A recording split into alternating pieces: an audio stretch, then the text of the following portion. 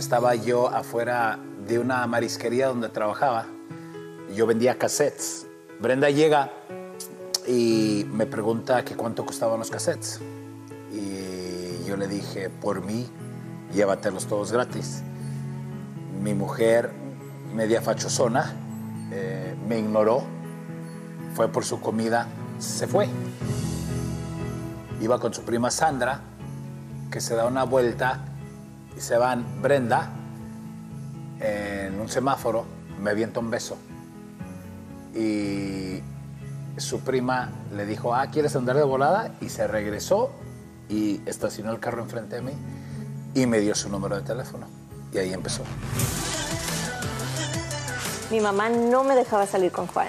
Eh, tenía prohibidas las salidas con Juan. Juan nomás podía venir a casa a verme y hasta ahí. ¿Sabes qué? Tu mamá no te deja salir.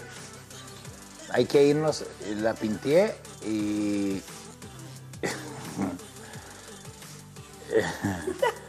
Ese día fue la primera vez que tuvimos momentos íntimos. Sí, que estuvimos juntos.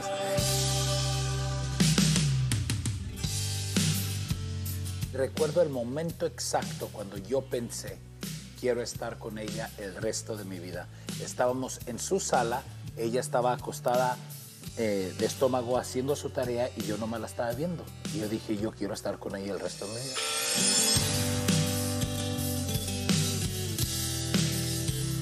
Creo que toda mujer sueña con, con una boda, pero cuando Juan me propuso matrimonio por primera vez, creo que me dijo, o quieres casa o quieres boda.